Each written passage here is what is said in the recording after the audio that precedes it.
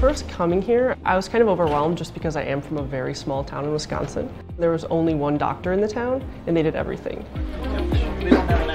So I wanted to be able to do everything for every single patient that came in. We're the step between them and the rest of their life.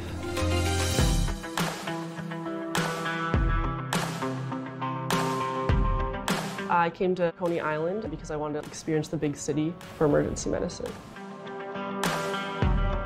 Our program really emphasizes wellness, which is really important.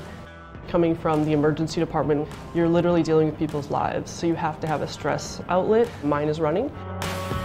Fortunately, we do have the boardwalk here. I go running there all of the time. The emergency medicine residency at Coney Island Hospital is a four-year program, ACGME accredited. It's actually the only emergency medicine program in South Brooklyn. Currently we have 16 residents, but we're growing each year.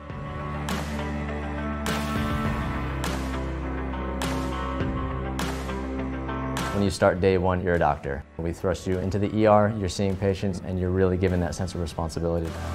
EM is such a fascinating specialty. You never know what's coming through the door. Every day is completely different. From my second week on, I was doing intubations, I did my first central line. So it's a very hands-on program, which I really appreciate.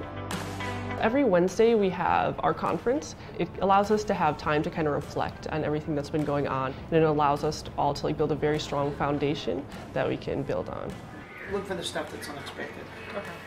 We're always one-on-one -on -one with an attending every single shift, so you feel fully supported in all of your encounters with patients. The group of people you work with is really what brought me here. I grew up in Hawaii where everything was really close by car. Being able to just jump on a train and experience anything from Manhattan to the Bronx is just amazing.